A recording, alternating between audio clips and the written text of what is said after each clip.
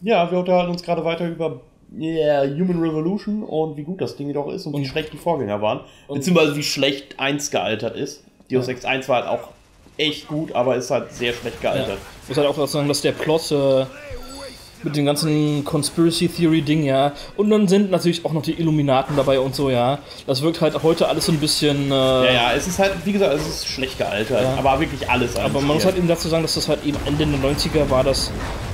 Also auch generell das ganze Illuminaten-Thema und Verschwörungstheorien und war. Das war halt eben noch so gut wie gar nicht erforscht in Narrativum, erst recht nicht in der Videospiel-Narrativum. Zumindest nicht in dem Ausmaß. Ja, und deswegen, das war halt eben damals absolut bahnbrechend und das zu Recht.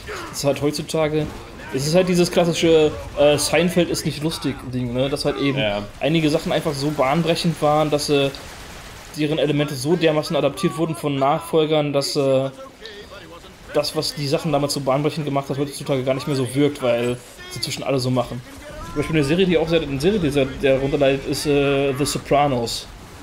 Weil das quasi wirklich dieses, ähm, ähm, ja, äh, sozusagen wirklich groß angelegte, mit mehreren längeren Story-Arcs, Drama, Primetime-Serien-Konzept halt eben als erste ausprobiert hat und tatsächlich halt eben erfolgreich gemacht hat.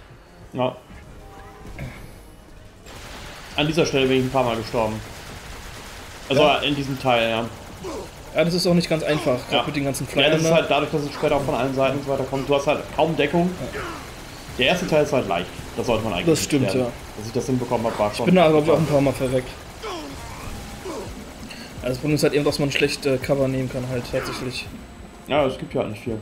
Ja. Klar. Genau. Und man halt eben durchaus von, äh, dadurch, dass es relativ offen ist, äh, von vielen mehreren Seiten unter Beschuss genommen wird. Ja. Und insbesondere halt eben, wenn man nicht äh, genau aufpasst und den Überblick verliert, äh, das schnell ein bisschen hektisch werden kann. Ja, und genau. äh, Was wir noch sagen wollten, Human Revolution ist halt einfach mit Abstand der beste Teil bisher. Das ist einfach nur Ja. brillant. muss halt eben auch dazu sagen, einige regen sich halt eben auch darüber auf, dass es das so gestreamlined hat. Ich sagen, stört mich gar nicht so, weil auch bei Deus Ex 1 äh, die Hälfte von deinem ganzen Fähigkeiten und Skilltree ist einfach nutzlos, ja. Ja, ja, das ist Deswegen. halt immer gewesen. Du kannst damit Sachen machen, mit vielen Sachen kannst du auch alternative Wege freischalten, was ich sehr cool finde. Ja. Ähm, aber viele Sachen sind halt nutzlos oder es gibt einfach bessere Wahlen. Und dann ist halt auch die Sache, dass ähm, die Leute so ein bisschen auch da wieder ihre, ihre Nostalgiebrille zu sehr aufhaben und sich nicht wirklich an das Spiel komplett erinnern, sondern also an die ersten zwei Stunden, an den wirklich grandiosen ersten Level, in dem man wirklich sehr schön die Freiheiten. Äh, Ja, ja, und das wird später doch immer linearer. Ja, Und das, es fühlte sich, finde ich, bei Human Revolution zumindest nicht so an. Es war natürlich Ja. auch, aber es fühlte sich nicht an. Äh, Human Revolution war im Großen und Ganzen von den Auswahlmöglichkeiten immer ein bisschen linearer, aber das Schöne, was ich fand bei Human Revolution ist, dass man ähm, sozusagen dadurch, dass man konstant für Kleinigkeiten auch Experience bekommen hat, Ja. man halt eben dafür belohnt wurde, einfach auch vielleicht alles auszuprobieren. Nicht nur einen Weg. Ja, Ja. Nicht nur sich durchzuschleichen oder. Oh ja. Oh man, so großartig. Regleton P. Tallylicker. Ähm, Ja, genau. Ähm, sondern halt eben stattdessen zum Beispiel, ja, okay, ich kann mich jetzt durchschleichen und dann da was hacken, aber ich kann die Leute trotzdem für ein paar extra XP auch trotzdem mal ausschalten, ja. ja. Sowas halt. ja, ja, und man muss halt auch sagen, ko so komplett frei Leveldesign dafür ist die Hölle. Ja. Es muss alles wirklich gut überlegt sein, weil es sonst einfach nicht funktioniert. Ja, das stimmt. Naturally. Deswegen, also. Und das finde ich, haben sie sehr gut geschafft bei Ja. Human Revolution, da den Mittelweg zu finden. ja, finde ich halt eben auch. Das Game ist halt eben ähm, linear genug, um dich halt eben sozusagen äh, zu überwältigen, zum Anfang insbesondere. Ähm, aber ist gleichzeitig gibt halt eben gleichzeitig genug Freiheit, um halt eben verschiedene Spiel Spielstile auszuprobieren, halt eben auch zu variieren, zu wechseln, sich quasi nicht auf einen festlegen zu müssen. Ja. Was halt eben das Problem ein bisschen war auch bei Deus Ex 1, ähm, abhängig davon, welche Upgrades man gekauft hat und was man halt eben gekauft hat. Dadurch, dass man halt eben bei Human Revolution nur noch ähm, sozusagen Implantate kauft, so ein Praxiszeug und keine Skills mehr hochleveln muss. Ähm, und sozusagen ein bisschen mehr ähm, auch, okay, ich kann auch das machen und gleichzeitig das und Ja. ein bisschen was von dem und halt eben nur, ich spezialisiere mich jetzt auf die eine Art, auf die eine Ja, ich bin halt viel auf Sneaking gegangen Ja. und das hat halt hervorragend funktioniert. Bei den meisten Spielen kommst du irgendwann mit sowas Mhm. nicht mehr weiter. Beispiel äh, Bloodlines von äh, Vampire Bloodlines. ja. Am Anfang sehr cool gewesen, hat dir sehr viele Möglichkeiten, aber manche Sachen haben später einfach nicht mehr funktioniert. Ja. Weil da genau dann das Leveldesign ein Problem war. Ja, insbesondere halt eben in den Sewers dann, in den äh, Nosferatu Warrens, auf dem Weg dahin. Ja. Äh, weil es was einfach daran lag, weil den Entwicklern die Zeit ausgegangen ist. Ja, die Zeit beziehungsweise halt auch die Möglichkeiten. Vielleicht fehlen auch Ja. die Möglichkeiten. Also es ist halt Geld, Zeit, es ist halt. Ja. Sowas zu designen ist cool, die Leute freuen sich drüber, aber die wissen halt nicht, wie viel Arbeit das Ja, eigentlich das Spiel ist. wurde halt eben auch vom äh, Publisher Activision ähm, zum, zum äh, Release gerusht. Und, äh, Ja. Also in der Vanilla-Version sieht man das halt auch. Die Vanilla-Version ist äh, insbesondere heutzutage, was zur Hölle machst du? Übel. Langeweile? Ja. Ähm, absolut nicht spielbar.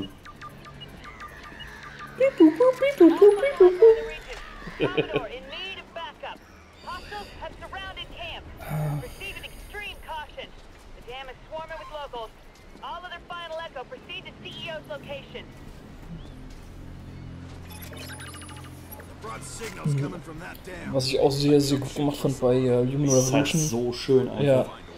Bei Human Revolution war halt eben, dass ähm, das Spiel ähm, zwar lange Zeit diesen sozusagen Pfad relativer Freiheit beibehält, aber dann trotzdem die letzten zweieinhalb, drei Spielstunden dann komplett linear macht, weil du halt einfach an dem Punkt Ja. eh so, also wenn du auch nur ansatzweise versucht hast, das Spiel ein bisschen zu erforschen, so dermaßen upgradet bist, dass du einfach eine Ein-Mann-AB bist und dich einfach durch alles problemlos äh, durch Sneaken, Schleichen, was auch immer kämpfen kannst. Äh, und einfach das Spiel keinen Mehrwert mehr dadurch hätte, wenn man versuchen würde, da jetzt irgendwie in den letzten anderthalb Gebieten noch irgendwelche großartigen Sandbox-Elemente einzufügen, einfach keinen Mehrwert mehr hätte, ja, sondern Ja. halt einfach, gerade weil es dann halt eben auch das Narrativ und zu einer, zu einer Klimax kommt, ähm, immer weiter sich zuspitzt. Ja, klar, es passt da halt. Ja. Es wird linear da, wo es passt, wo es linear werden Genau, richtig. muss. Genau. Sonst wäre es halt wie beim MMO, wo du halt dann zwar der große Held bist, aber sich nichts ändert. Ja. Ähm,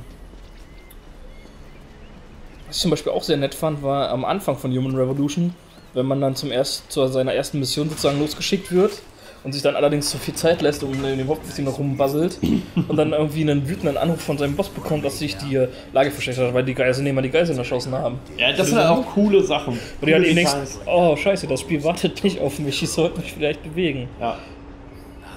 Kennst du die GameStar-Folge dazu? Ja. Oh, die ist brillant. Ich zeig dir die gleich nochmal. Die ist der Hammer. Also Leute, guckt euch die auf jeden Fall an, wenn ihr die Möglichkeit habt. Die ist der Kracher. Also GameStar-Redaktion, Human Revolution oder Deus Ex oder wie auch immer es heißt.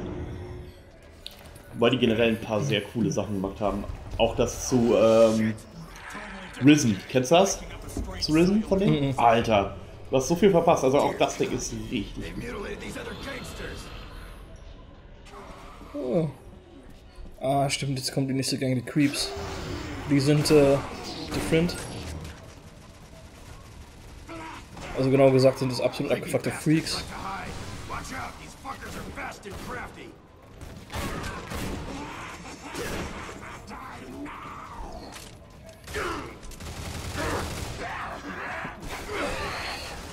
Wenn er meint, sie sind fest, dann meint er, sie sind fest. Die weichen deinen Tritt und deiner Leash aus. Ja, meiner Leash habe ich gemerkt. Die anderen konnte ich ja treten.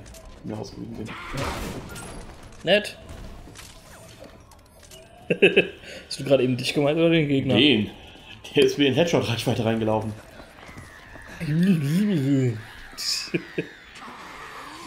oh ja, das wird nett. Kannst du nicht lesen, da stand Double Tap to Slide. Muss das geht? Ja. Gravity Boots. Bullet Slide. Ja, aber da sind sie scheinbar auch nicht schnell genug für. Hey. Dafür schon. Gute Arbeit, junger Mann. Ja, ich hab's halt drauf. Wie gesagt, ich mag die Pistole. Also so schwere Pistolen sind, sind meine Lieblingsdinger. Genaue Waffen, die halt ordentlich reinhauen. Ja. Also wo du dann die Geschwindigkeit der Feuerkraft nicht Ja. vermisst. Ja, eh, generell, das, das Gunplay in dem Spiel ist absolut. Ist sau. Ja. Fühlt sich einfach geil an zu Ja. Möchtest du wohl explodieren? Nee, ich mag nicht, heute nicht. Geht doch! Alter. Aber kein Würstchen, ne? Ne. Keine Würstchen für die Würstchen. das Ich glaube, der haut dich. ist mir aufgefallen. Ach echt?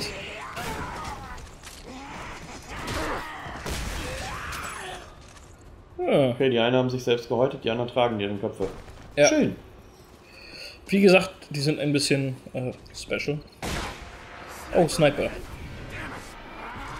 Ah, jetzt gibt's wieder Sniper Rifle. Wie gesagt, das ist meine Lieblingswaffe in dem Spiel. Ja, die ist ziemlich cool. Ah, ich krieg grad nicht hin. Ja, ich wollte nicht sagen, du müsstest vielleicht ein bisschen äh, Cover nehmen. Nope. Ne? Alter, ich krieg grad nicht hin. Ich hab's bemerkt.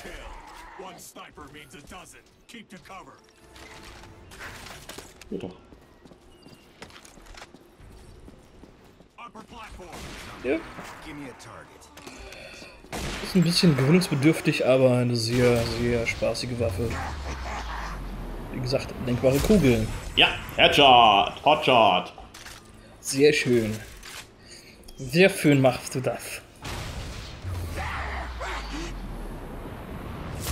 Ah, das war nicht so gut. Nee, das gibt leider nur plus 10.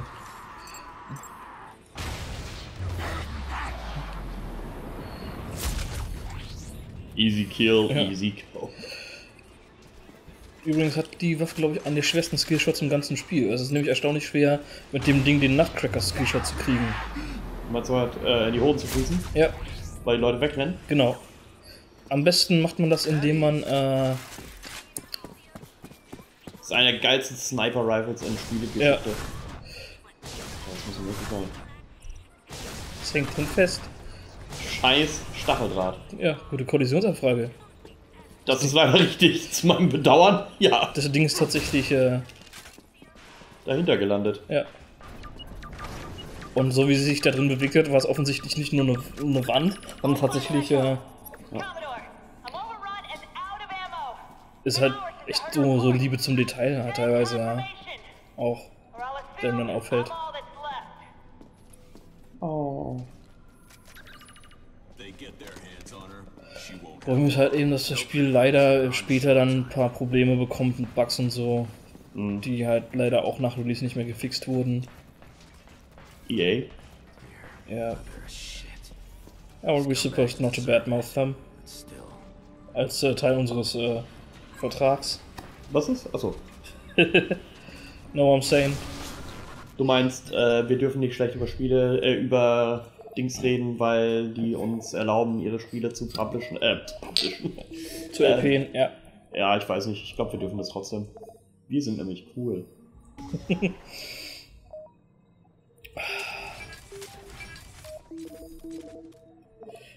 Ja, das Ding ist toll.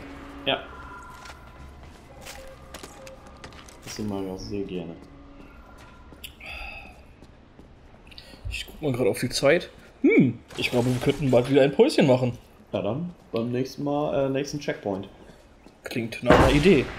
Was machst du denn? Au. Schmeißt schon wieder Sachen kaputt. Nein? Aufpassen, junger Mann. Sie haben was zu tun. Übrigens, wenn du, äh, sind da mehrere nebeneinander? Ja. Kann ich auch mehrere durchschießen. Nee, aber wenn du ein anderes Ziel als das äh, ursprünglich ange angepeilte äh, erwischst damit, kriegst du den Bluff Skillshot. Äh, nice. Allerdings muss es halt eben äh, in äh, ja, annehmbarer Nähe dazu sein, weil ansonsten, wie gesagt, die Kugel verschwindet. Naja, Trotzdem. das ist gemein. Lass nicht so rennen, dass ich nicht treffe. Machen die aber dauernd. Ich weiß, würde ich auch tun. Trotzdem. Wie Nervt du halt halt. schon gesagt hast, ist eins der besten Sniper Rifles in Spielgeschichte. Ja, Also einfach echt klasse ist und Absolut. der Charge davon ist halt einfach noch, noch viel besser. es fühlt sich halt auch einfach geil an, damit zu schießen. Klingt gerade so unglaublich äh, amerikanisch. Also ganz ernst, ehrlich, Schießen macht halt schon Spaß. Aber die Aber- Amerikaner haben damit halt echt einen an der Waffe. Ja. Oh. Scheiß Deckung. Hab mir Essen bestellt. Kommt vielleicht gleich. Okay. Ich geb's dir dann. So, und wenn ich den jetzt umhau. Oh. Ja, da ist halt was im. Weg. Nee, die sind da. Äh, Ja. also, die ducken sich halt die ganze Zeit in, in die Deckung. Das ist halt super ätzend, weil dann jedes Mal die Kugel weg ist. So. Tja. Aber es wäre fast besser für die Dauer dieser Folge, wenn du jetzt stirbst. Weil da können wir Päuschen machen. Faule Sau. I have to kill people. Alter, echt jetzt? Ja. Ist halt manchmal ein bisschen. Äh, Alter, können die, wieso rennen die denn die ganze Zeit durcheinander? Das ist voll nervig. Weil das halt nervige Pinner sind. Ja, ich, Ja. ja du hast ich allerdings muss die halt wegmachen, um weiterzukommen, aber Ich ich, kann sie nicht wegmachen, weil die ständig hin und her rennen. Du hast halt auch gerade eine relativ schlechte äh, Position, muss man dazu sagen. Wo soll ich denn hin? Das ist halt das Problem. Ich komme nicht äh, besser ran. Ich spare mir jetzt mal das äh, energische Doch, doch, doch.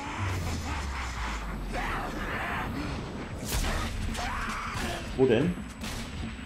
Ich finde, da stehst du eigentlich ganz gut. Ist halt eben nur. Ja, da sind die halt auch die ganze Zeit. Regelmäßig, Äh, die im. Haus sind da halt auch die ganze Zeit. Ja. Das ist halt genau das Problem. Das Ja. ist ja genau das, was ich meine. Wie gesagt, so kommst du halt eben noch eher an, das ähm, um Fenster so ran, weißt du? ja so gut, aber da haben sie gerade halt auch die ganze Zeit direkt. Da musst du mal gucken, ob du vielleicht irgendwie noch auf einen besseren, einen besseren Winkel auf den kriegst halt. Ja, musst du mal gucken. Wenn der soweit. Das äh, Problem ist halt, dass sie sich bewegen und dann weg sind. Ja. Das ist halt das Problem.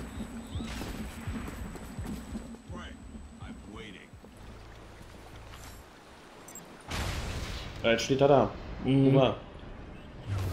Das ist super. Da ist er. ja, unglaublich, aber wir haben es tatsächlich geschafft. Ja. Drei Sch äh, sieben Schuss habe ich noch. Ach, das reicht. Das hätte ich auch gar nicht gerade machen können. Arschlöcher. Hast du doch gerade eben, hättest du gerade eben schon machen können. Als der eine noch gelebt hat. Echt? Ja. Mal. Ich lasse das mal weiter nach, nach wie vor unkommentiert, ne? Ich glaube, besser ist das. Du bist ein Freund. Ich weiß. Ich hasse dich. Mi, mi, mi. Ja, ein bisschen. Oder mu, mu, mu. Ich bin vor allem sauber. Oh. Äh, Das ist gerade ein bisschen genervt, dass die halt die ganze Ja. Zeit da hinter sind. Du willst also eine, heute eine Folge mit Überlänge machen, ja? Ich muss wohl. Ich das gerade richtig.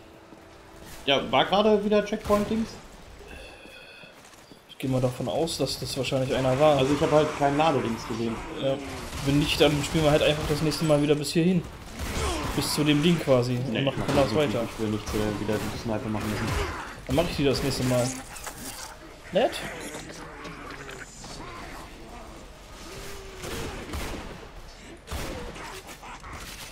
Außerdem denk dran, Skillshot-Punkte werden unabhängig vom anderen Game Progress gespeichert. Ja, ich weiß. Global sozusagen. Außerdem glaube ich auch, dass das Spiel manchmal speichert und es die nicht anzeigt. Kann durchaus sein. Also kam mir schon ja, dann machen wir beim nächsten Mal. Genau, und wenn nicht, wie gesagt, spiele ich dann einfach. Bis dann. Bis demnächst, Leute. Bye bye.